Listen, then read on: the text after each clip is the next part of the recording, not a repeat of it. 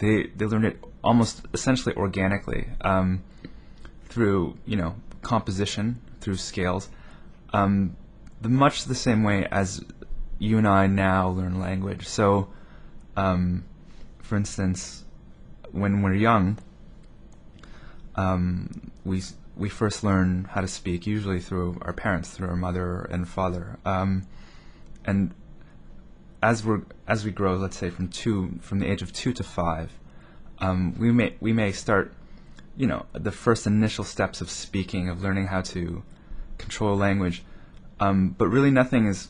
It's all through a. It's all through imitation, but b.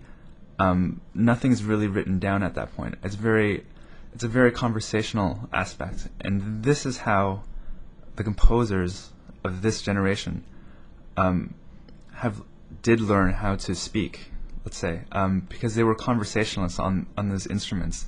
You can give them an idea on those instruments, and they could just they could simply elaborate. They could simply have a conversation with someone else or with themselves, um, and those tones became essentially a conversation, just much as uh, we can con- construct sentences um, fairly flawlessly um, nowadays, just in normal speaking. Those the note stage from which they started from probably, I believe, occurred close to, but after the initial stage of understanding conversation, uh, understanding tones as conversation. Um, and again, using this analogy of of, conver- of learning how to speak, um, you don't really write until you're probably about, I don't know, five five years old, four or five years old. And for the same reason, um, the compositions that they did often came after. Um, it was always from the sound first to the note, and never from the notes to the sound, uh, which is the way it's done now. Um, so these these people, um, these composers, uh, essentially learned a language in which they could uh, they could freely express themselves. They could they could move. They could play. They could improvise uh, for hours on end uh, without any problem. Nothing of which most uh, most performers or graduates from you know music programs can do today. Um, they could compose, obviously, um, compose not just in the style that was given them, but also you know seek innovation, which is an important aspect. Um, they could perform, of course, because that was a requirement. Um, and onto to add on to these three things, um, in 1725, Bach wrote a treatise basically on, on how to teach thorough bass because this was an important aspect um, th- playing continual parts essentially. Um, the, th- the five things he outlines was were, were, those ones that I've mentioned so far. So composition, performance, uh, improvisation, and there's uh, thorough bass, which he he goes into quite deeply, and also um, tuning, which is another aspect that uh, was probably more important for that generation than ours because of, you know we've largely solved temperament and everything else, but um, those other four are, are still there. Um, you see that only one of those is performance, and the other th- the other three are um, are well, uh, you know, creative tasks, uh, creative tasks and comprehension tasks that that are much harder to to judge. Um, now, going back to the 1830s again, which is an important date. Um, the the reason why I say I say so is because at this date you really have the birth of of the classical tradition that we have that we we come from now. Um, and I just want to preface that with with kind of sketching a picture of um, the social environment that this has occurred in. I mean, at that time, again, in the heat of the Industrial Revolution, you have this uh, large rush of innovation happening. Um, you know, the cotton gin was built, and you know Napoleon and everything else, and the whole world is is run amok. Um, but one of those, you know, one of those great things that have come out was the piano and the ability for the piano to to project and all the technology that you know cast iron could provide. Um, what was so great about this is that um, a lot of reasons was that for the first time ever, you really had a, a magnitude of pianos and and almost for a, large population um, were able to afford pianos that hitherto were not.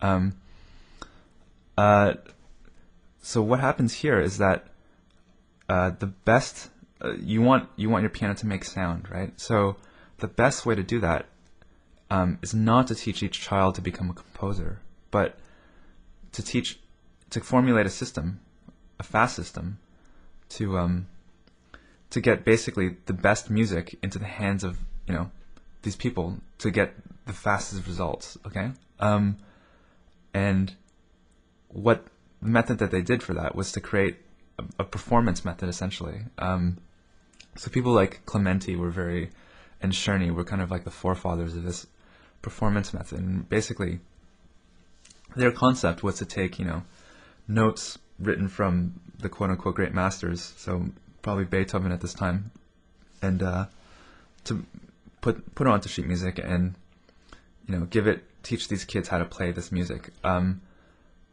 the benefit of something like this, and the great thing about it, is that by the time this kid or this child you have is about ten or twelve, you can, if, if you know, with the proper course of study, they, you can pretty much expect all of them to be at a certain level. You can expect all of them play, and can you imagine the the impact that that would have? I mean, to hear a twelve-year-old child playing Beethoven, um, you know, in your living room, that's that's unbelievable, unbelievable. Um, and that really was a great thing. Um, so, uh, all these these pedagogues created this method.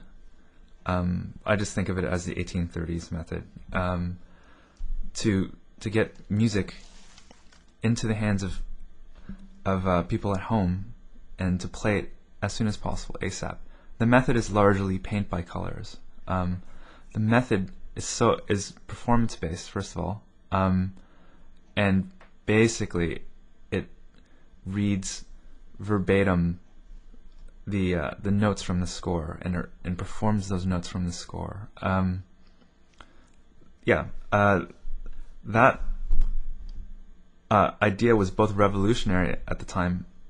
I would at and at the same time, um, uh, you can kind of signals the end of uh, of kind of signals the end of um, the creative uh, uh, flourishing of some of these other, you know, schools of uh, of teaching more based on language. Um, because really, with the with the publishing empire pushing basically for, you know, these composers to push out music as fast as possible because they're they're making money and the composer is making money, and the piano retailer is, is happy because they're selling many pianos and the children are happy because they're you know making the parents happy, and the the parents are happy because um, they're hearing you know great music like Chopin in in the house.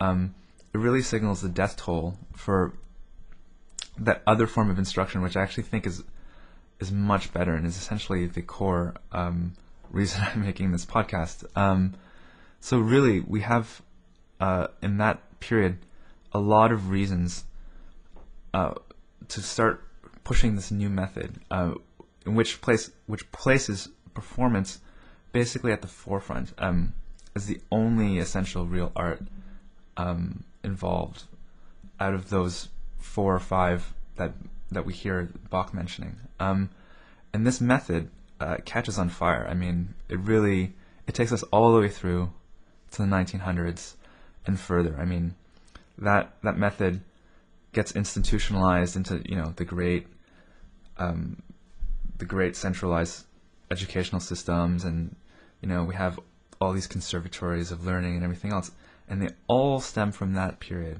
um, and not before um, so for basically 150 years we have or more than 150 years uh, we've been following this tradition now um, one look anywhere today in, in basically in the post-secondary institutional system or conservatory or just the general musical learning, you see a lot of these kids still playing the same thing. So like Beethoven and Mozart and uh, you know Clementi and Haydn and Scarlatti. Um, and this is both good and bad. I mean, you see you see that they are playing this, and the technical facility which they do it with is is quite remarkable. Um, but um, the way I usually posit this question is just that to ask what what happens, um, let's say 500 years from now, are we are we really going to be recording you know Beethoven's Violin Concerto like five times a year from the, the newest the five new prodigies that come out every year? Are we are we really going to be listening to the same the same music? Um, and if so, is any new music going to be